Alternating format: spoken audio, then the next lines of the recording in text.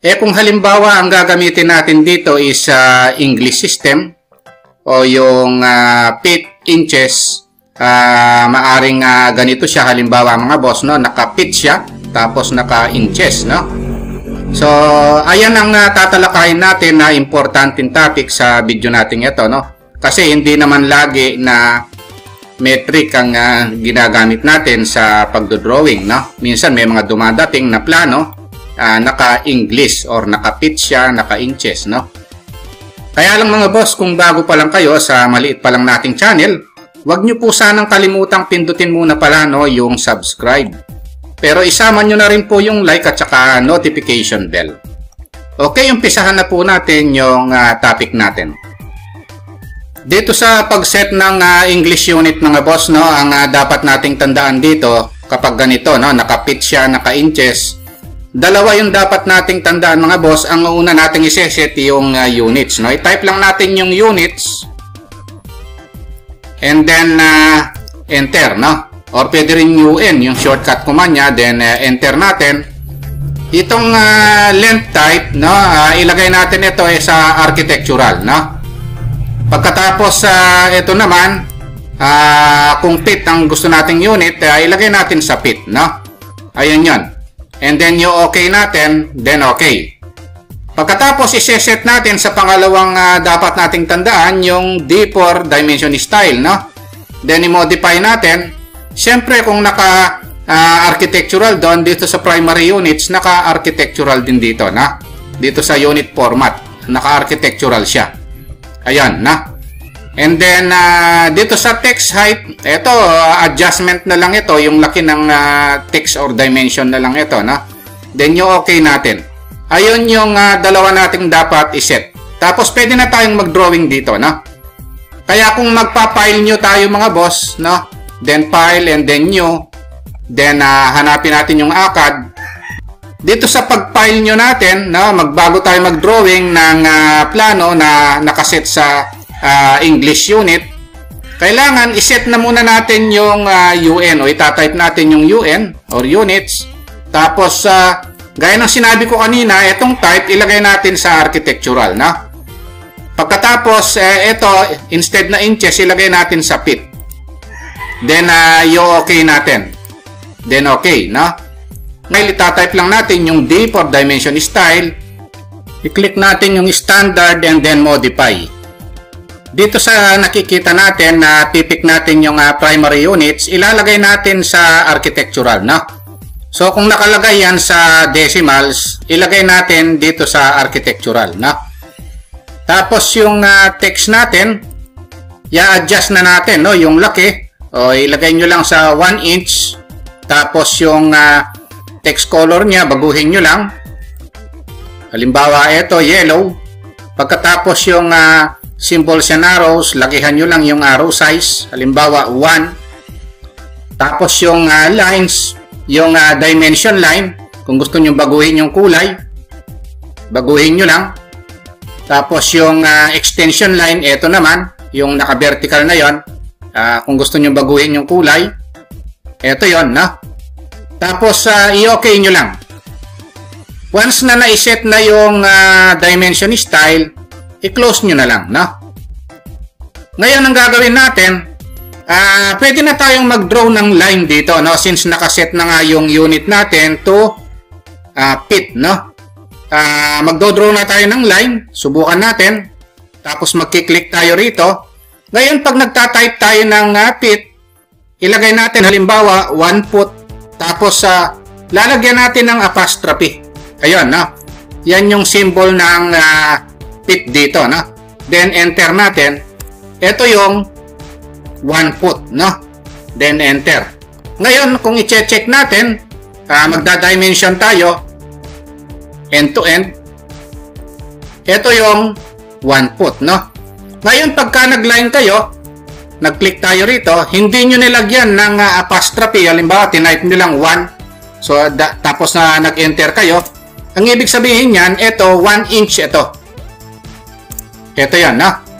Kahit na sinet nyo na sa pit yan, ang dinidefault na sukat ng uh, AutoCAD, pag nag-set tayo, naka-inch yan, no?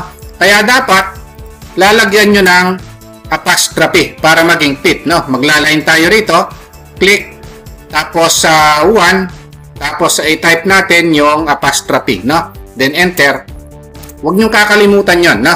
Yung apostrophe. Yan yung symbol ng uh, fit. Ayan yan. No? Ngayon kung uh, gusto nyo uh, one foot, no? Pero gusto nyo i-type 12, pwede yon no? Kasi 12 inches, 1 foot yan, no? O parehas din naman yan, no? Kaya lang mas maganda kung uh, i-type nyo lang 1 tapos yung uh, ilagay nyo yung apostrophe, no? Uh, 12, hindi nyo na ilagay yung apostrophe, o 1 foot din naman yon no? Ngayon kung halimbawa gusto nyo uh, 1.5 feet, pwede rin naman yon. No? Line, click, 1.5, tapos lagay nyo yung apostrophe, then uh, enter. Pwede rin naman yan. No? Bali, 1 foot and 6 inches yan. No? Ayan. Ngayon, pwede rin naman ganito. No? Maglaline tayo. Click. Tapos sa uh, 1 foot, tapos uh, yung inches kahit na hindi nyo nalagyan ng symbol, no? basta nag-type kayo ng 6 dyan, understood, inch yun. No? Pag in-enter ko siya, 1 feet 6 inches yun. No? So, ayun yung dapat nating uh, tandaan. No? Pero mas advisable na ilagay nyo na lang 1 foot, then 6. O itatype nyo na lang yon then enter. Para hindi kayo malito. No? Kaya kung gagawa tayo ng uh, rectangle dito, no? Line ang gagamitin natin, click, halimbawa, 5 feet. O, type natin 5 tapos yung apostrophe, then enter. Ito yon. Ito yung 5 feet. Papunta ron, kung halimbawa, uh, 3 point, uh, o kaya 3 feet, 6 inches, pwede rin naman yan, na? Ayan, na? Tapos, uh, 5 feet, then enter, o, close ko na lang, no? Kung ida-dimension natin, ito yung 5 feet, no? Ito naman yung 3 feet 6 inches. Ayan yan. Yung dapat nating tandaan, no? Basta yung uh, inches, wala nang uh, symbol, no? Ngayon, pagka naman na uh, feet, ilagay niyo yung apostrophe. Na? O halimbawa, i-offset ko ito ng uh, 2.5 feet offset. O itatype ko na lang 2.5 feet. Pwede rin naman yun. Tanggap niya, no? Ayan. Bali, ito, lumalabas ito na 2 feet and 6 inches yun, no? Ayan yung uh, dapat nating tandaan. No? Kung ayaw nyo naman ng 2.5 feet, pwede rin naman i-offset yan. Offset ng 2 feet 6 inches. Ito, mas uh, ina-advise kong gamitin ito. Select ito. Ayan yan, no? So, pag nag-dimension tayo, ito yung 2 feet and 6 inches. Ayun yung dapat nating uh, tandaan pag uh, nag uh, pipit tayo at saka inches, no? Ngayon kung i-offset ko ito ng uh, 2 feet, pwede rin nyo namang i-offset ng halimbawa, ayaw nyo gumamit ng uh, feet, no? Ilagay nyo lang 24. O pwede rin naman yon 24 inches yan, no? Total default naman yung inch, no? So pag uh, nag-dimension ako, yung 24 na yon lalabas yan na 2 feet din naman yan na o lakihan ko lang yung uh, dimension na text ha, para ano i-modify ko lang. Uh, para makita natin ng uh, maayos. O gawin kong 2 inches yung uh, laki ng text. Ayan na para makita natin ng maayos. Ayan na ayan yung dapat nating uh, tandaan na o halimbawa gagawa uli ako ng uh, figure dito. Para malinaw maglaline ako rito click 7 feet tapos dito maglalagay ako uh, 5 feet 6 inches uh, 4 feet 2 feet and uh, 4 inches. Ayun, no? Ngayon, ang gagawin ko rito, uh, 7 feet. Enter. Ngayon, pag nagkamali kayo, pwede yung EU, no? Yan do. Na-discuss naman natin yun sa line, no? Halimbawa, ilalagay ko rito, 3 feet.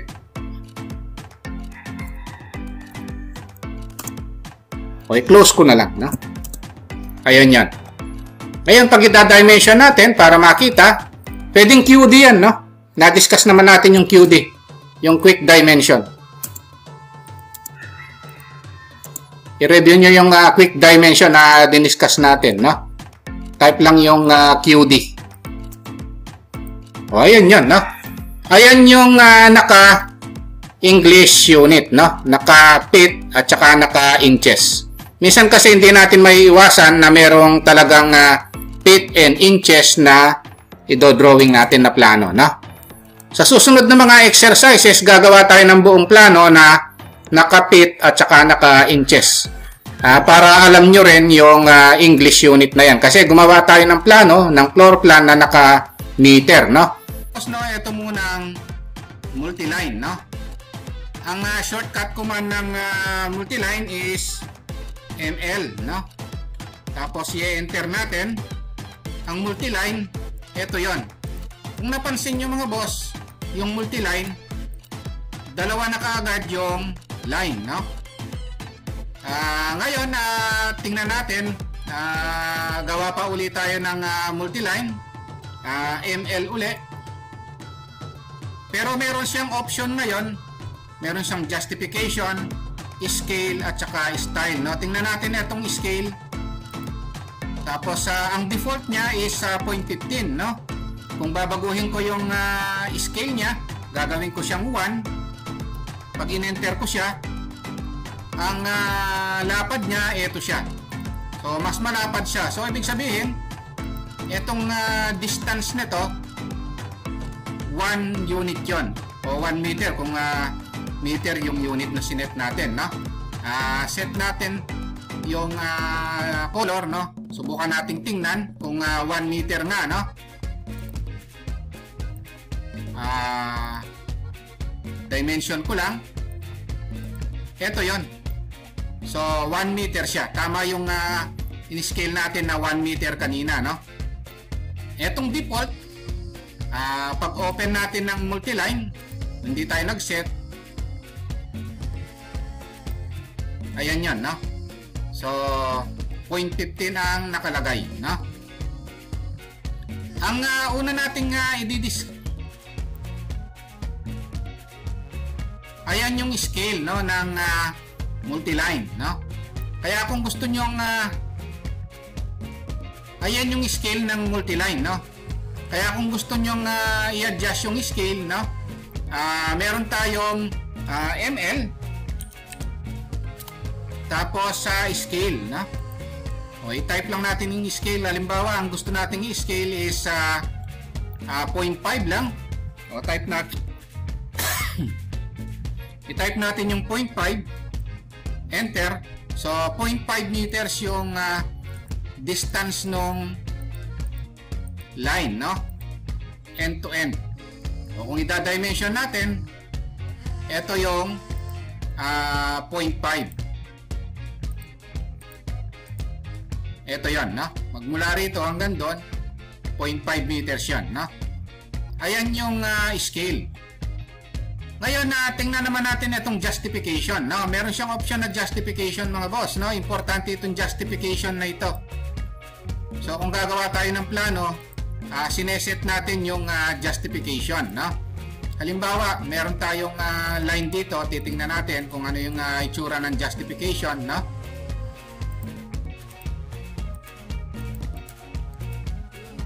mag-AM line ako ML tapos tingnan natin itong uh, justification. Meron siyang option, no? Meron siyang top, zero, and bottom, no? Itong top, pag kinlik ko ito, so ito yung top, no?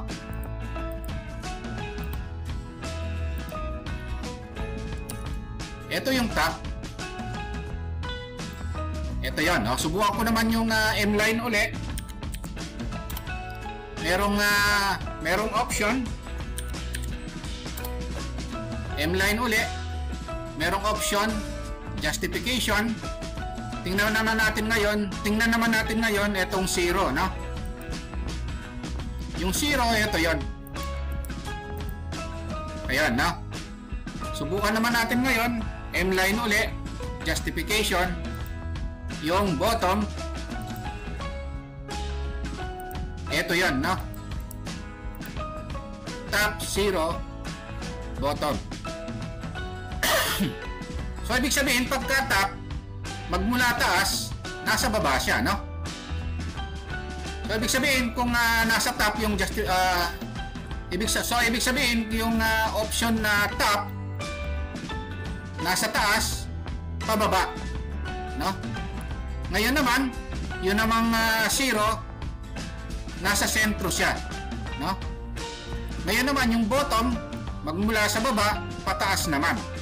Ayan yung uh, multiline na justification ito yung top, ito yung zero, ito yung bottom. No? Kaya yung uh, gagawin nating uh, wall, kung center to center siya, yung option na gagamitin natin is zero. No? Ngayon kung uh, outside siya, top siya. No? Ngayon kung inside naman siya, bottom naman. No? So kung i-apply natin sa actual, no? Ito 'yon, no? Subukan natin dito, gagawa tayo ng wall Okay, so kung gagawa tayo ng uh, wall, subukan natin sa actual job. Uh, ML. Tapos sa uh, justification, uh, subukan natin itong top. O, click lang tayo rito. O, ito yung wall natin, no? Ito yon, no? So, i-close ko lang. Ito yon. So hindi na tayo gagawa ng uh, line, mag-offset pa. So direkta ng metapal yung wall natin na 0.15. Tapos yung uh, justification niya is stop. So ibig sabihin, uh, magmula sa labas, paloob, no? Yung line. Ngayon kung gusto kong uh, interior wall, center to center yung wall natin, o mag-EML uli ako, iset ko yung justification na diniscuss natin kanina to zero no? pagka center to center siya so ito yon kaya no, nakagitna siya oh. ayun nasa gitna siya center to center oh.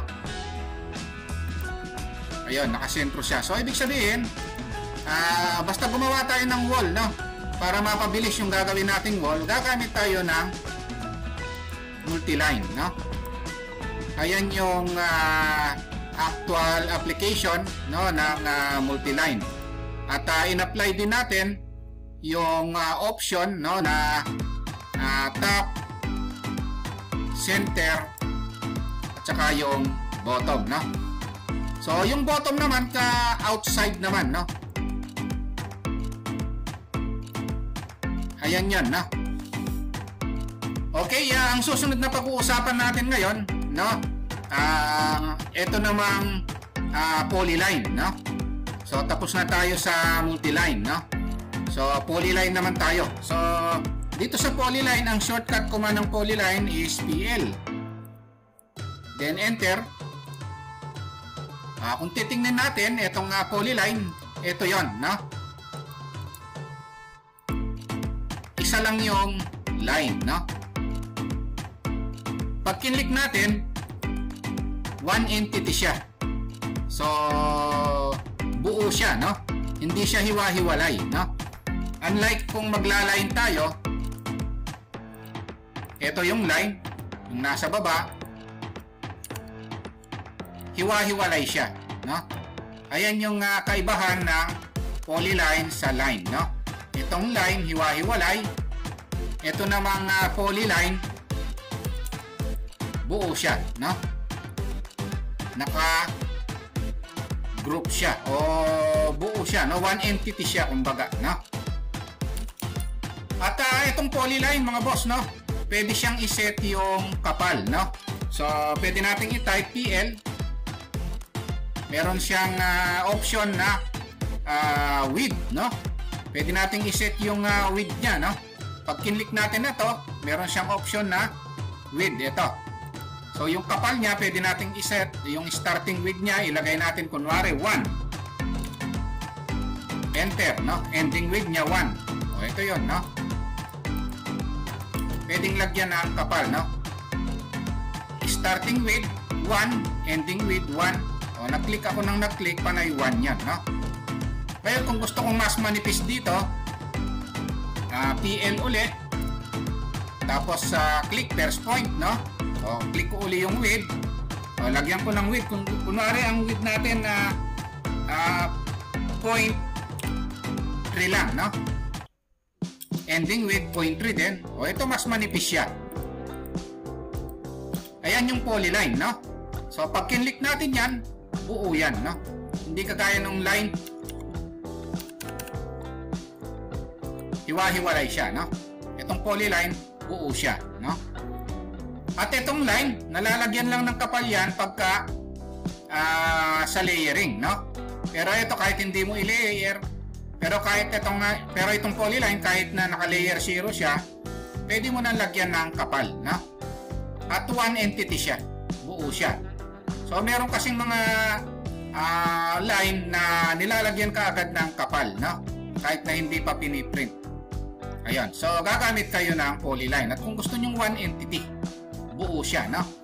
Kaya itong polyline, uh, ginagamit din talaga ito sa actual job. Madalas nating makita yan, no? Okay, uh, ayan yung uh, polyline.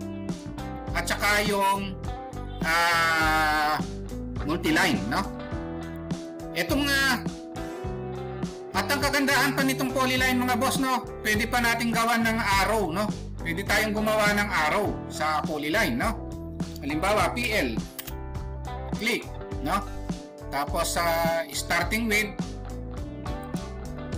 0.3 ang ending with 0.3 rin. Uh, pag nag-click tayo, ito yung 0.3, ito rin yung 0.3, kabilang dulo, no? Pero kung gusto nating mas makapal, no, yung uh, sa kabilang uh, width, yung susunod na polyline, mag-adjust ulit tayo ng width. O kunwari, ilagay ko na width 1. O, ending width, ilagay ko 0. O, makakabuo tayo ng arrow, no? So, ayan yung uh, polyline. So, pwede tayong gumawa ng arrow. 0.3, 0.3, tapos ito naging 1. Tapos yung uh, dulong uh, point, ginawa ko siyang 0. Uh, pag 0, wala siyang kapal, no? Ayan yan. So, pwede tayong gumawa ng arrow. Pwede rin namang PL. First point, yung width niya. Unang width is 0. Ending width is 0. Click. O, ito yung 0. Ito yung 0. Ito rin yung 0, no? Ang susunod na width, lagyan ko ng kapal, 1. Ending width, 0. Ito yon, no? Pag kinlik ko siya, ito yung 0, ito yung 0, ito yung 1, ito naman yung 0. Ayan yung uh, polyline, no? So, marami tayong pwedeng gawin sa polyline mga boss, no? Ilan lang yan sa mga halimbawa, no? Na pwedeng gawin sa polyline. Pag-usapan naman natin ngayon mga boss, no? Itong uh, paglalagay ng uh, eksaktong sukat, no? This time, no? Sa line, sa polyline, sa multiline, no? Kaya lang mga boss, kung bago pa lang kayo sa maliit pa lang nating channel, wag niyo po muna palang kalimutang pindutin yung subscribe, no? Pero isama niyo na rin po yung like at saka notification bell. Okay, umpisa na po natin yung paglagay ng uh, eksaktong sukat sa line muna, no? Yung uh, ilalagay nating uh, sukat sa line, itong na tinatawag na uh, polar coordinates method, no? Itong polar coordinates method, uh, merong angle na sinusunod ito, no? So, ito yon uh, lapitan ko lang ito, no? So, yung uh, angle na sinusunod niyan na uh, kung nandito yung point natin to the right, straight yan, no? Uh, zero angle yon, no? Kung pataas naman yung line na gagawin natin, uh, 90 degrees yung angle niya. To the left naman, straight siya is ah, 180 degrees. Kung pababa yung line natin is 270 degrees, no? So, ito yon counterclockwise from 0 to 360 degrees pwedeng gawin, no? Yung line using polar coordinates, no? Halimbawa, gawa tayo ng line using polar coordinates, magla-line tayo. Pindutin ko lang yung line o kaya pwede nating i-type yung ah, L, no? Yan yung shortcut command ng ah, line. Tapos sa click tayo.